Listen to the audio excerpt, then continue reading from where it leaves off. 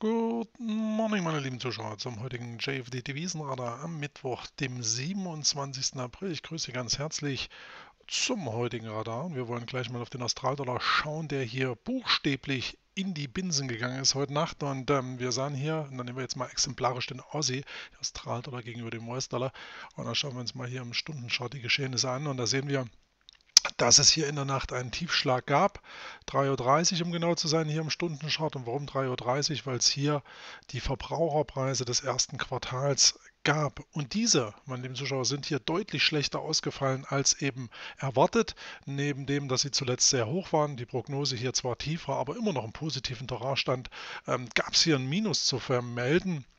Und die Verbraucherpreise sind sozusagen eben eine Indikation ähm, dafür, dass hier der Australdollar an Stärke wächst. Also ein höherer Wert sozusagen sollte hier oder exemplarisch stellt hier immer einen bullischen Bias für die entsprechende Währung dar, äh, da man eben hier, wenn die Verbraucherpreise steigen, von einer höheren Inflation ausgeht, was ergo wieder eine Zinsanhebung zulässt und der Australdollar ja hier sozusagen zinsbullisch ohnehin unterwegs im Vergleich zu den ganzen ähm, westlicheren liegenden Ländern wie Europa oder speziell Australdollar, US-Dollar, eben hier der US-Dollar.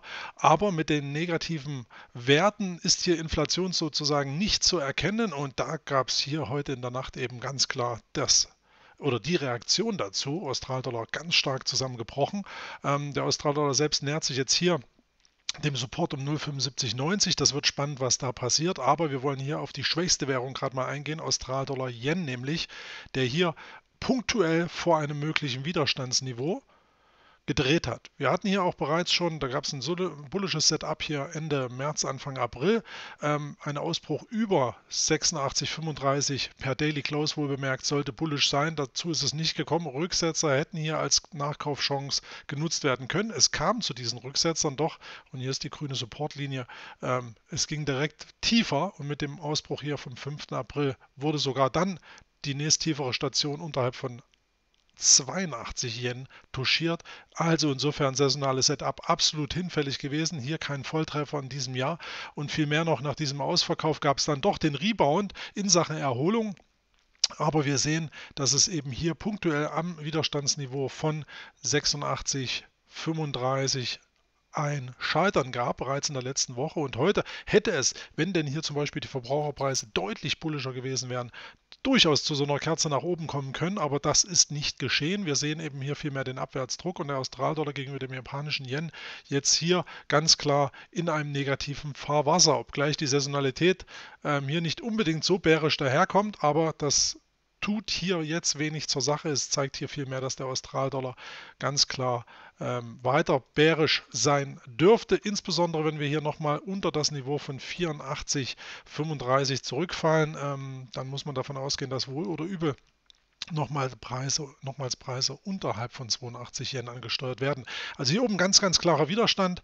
Ähm, konträr dazu, wenn wir hier über 86, 35 rausgehen, ja, gerade auf dem Australdollar Yen bezogen, ähm, da wird insbesondere der Yen morgen eine große Rolle spielen. Wir haben die Bank of Japan morgen in der Nacht zur zinspolitischen und auch natürlich ähm, ähm, finanzpolitischen Ausrichtung. Und das wird sicherlich ähm, ja, alle Yen-Pairs in der Nacht durchaus in Wallung bringen. Und ähm, ja, trotz der schlechten Nachrichten heute, wer den Mut hat, hier auf einen schwächeren Yen zu setzen, der könnte im Sinne dann auch einer technischen Gegenreaktion hier möglicherweise auf einen Ausbruch zählen. Und wenn es hier über 86, äh, 35 rausgeht, dann haben wir hier taktischen Kaufsignal. Sie sehen hier ganz klar im Januar hier im März, Mitte März, dann Ende März und jetzt eben auch hier im April ganz klares Widerstandslevel. Hier zuletzt im vergangenen Jahr ein Supportlevel, ähm, das jetzt hier als Widerstand fungiert. Aber wenn hier oben der Deckel gesprengt wird, dann muss man ganz klar sagen, sind die Bullen hier am Drücker. Das wird auch maßgeblich eben vom Yen hier mit beeinflusst. Und wenn die Verbraucherpreise, die negativen eben heute äh, verdaut sind, mag sein, dass es hier nach oben gehen kann. Aber generell technisch eher angeschlagen. Australdollar, US-Dollar ja auch hier bei 75,90 in einem Bereich, wo man aufpassen muss. 0,75,90 gehen wir nochmal kurz darauf, wenn der hier durchsackt. So, da haben wir es hier durch dieses Level 75, 075, 90, wenn wir hier runtergehen, dann kann es auch durchaus nochmal in Richtung 074 gehen. Doch, ich will Ihnen heute hier den Australdollar gegenüber dem kanadischen Dollar mal nahelegen, der natürlich auch ganz deutlich unter Druck äh, geraten ist. Wir haben hier sozusagen einen kurzfristigen Aufwärtstrend gebrochen, haben auch hier lokale Tiefs der letzten Zeit unterschritten und sind jetzt hier an einem Punkt, der recht interessant ist, denn hier das Märztief liegt voraus. Das heißt, hier wird es jetzt spannend. Ähm, faktisch jedoch hier, und das ist das Interessante, habe ich ein saisonales Bias für Sie. Und zwar ähm, der Australdollar gegenüber dem kanadischen Dollar während der letzten 21 Jahre 16 Mal einen positiven ähm, saisonalen Short gesetzt, also hier fallende Preise. Ähm, das führt zu einer Trefferquote von 76 Prozent und im Schnitt gab es hier einen Gewinn von rund 210 Pipsen auf der Südseite. Ähm, durchschnittliche Verlust, wenn es schief ging, 103 Pips. In Summe hier 2800 Pips schon eingefahren während der letzten 21 Jahre, wovon 16 eben erfolgreich waren. Und da sehen wir hier die Performance-Kurve, die in den letzten Jahren sich hier ein Stück weit abschwächte. Ja, wir hatten hier auch insbesondere im letzten Jahr ein Verlustjahr ganz marginal nur, aber ein leichtes Verlustjahr. Davor hatten wir wieder starke Gewinne, äh, beziehungsweise leicht starke Gewinne insbesondere hier 2011, 2012 waren sehr starke Gewinne zu verzeichnen. 2013 hier, das ist nochmal eine riesen Hausnummer, aber dann 14, 15 ebbte das Ganze hier so ein Stück weit ab und jetzt, wir hatten letztes Jahr einen Verlust, ja, die große Frage, also Verlust ja im Sinne dessen, dass es bullisch war, aber auch nur marginal, also kein großer Tiefschlag.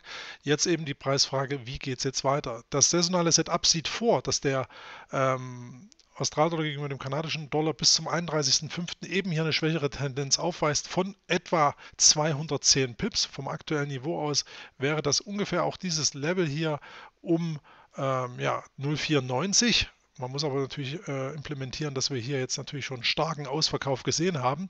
Ähm, mit dem heutigen Schlusspreis, wenn er denn höher ausfällt oder wie auch immer, könnte man hier sozusagen auf einen bärischen Bias setzen, der eben dann genau während dieses Zeitfensters äh, hier ganz klar nach unten gerichtet ist. So, muss man nochmal hier den Preisbereich kopieren, den mal kurz löschen. So. Und das wäre eine theoretische Chance, sagen wir mal so rund 200 Pips auf der Südseite. Und da muss man natürlich sehen, ähm, ob man dieses Setup nimmt, aber Tatsache unterhalb von 0,96 spricht viel dafür, dass wir weiter schwächere Preise sehen. Es kann natürlich auch direkt weitergehen. Ähm, wenn hier 210 Pips auf der Uhr stehen sollten, sollte man ohnehin über Verkäufe, Teilverkäufe nachdenken. Aber Tatsache ist, mit diesem schwachen Impulsen der Nacht ist eigentlich hier so ein Stück weit auch der Hammer gefallen und es spricht gerade auf den Australdollar gegenüber dem kanadischen Dollar bezogen hier weiteres für eine saisonale Schwäche. Ähm, Australdollar ja wie gesagt auch hier in einem Zwiespalt. Da müssen wir die Bank of Japan morgen abwarten. Aber hier Australdollar hat für sich genommen hier auf jeden Fall mit einem bärischen Bias unterwegs. Da könnte sich nur ähm, eine Relation einstellen, wenn wir hier wieder über 0,98 rausziehen, also die heutige schwache Kerze komplett relativieren, dann wäre hier sicherlich eine andere Bewegung möglich. Aber aktuell ja vor dem saisonalen Background und eben auch den aktuellen Preisverhältnissen hier eher der Bär zu bevorzugen.